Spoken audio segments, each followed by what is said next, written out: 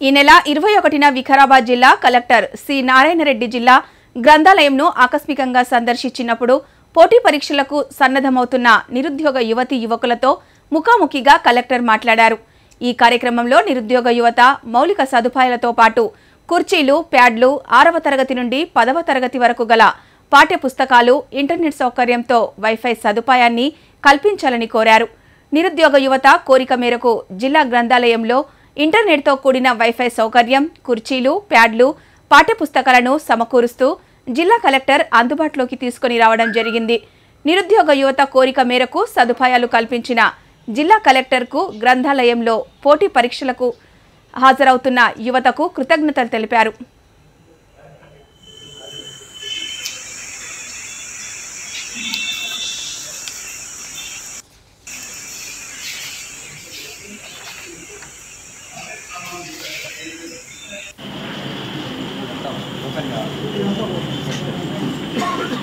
మా బిల్డింగ్తో పాటు ఎంత ఇంత ముందు లేకుండా ఈ బిల్డింగ్స్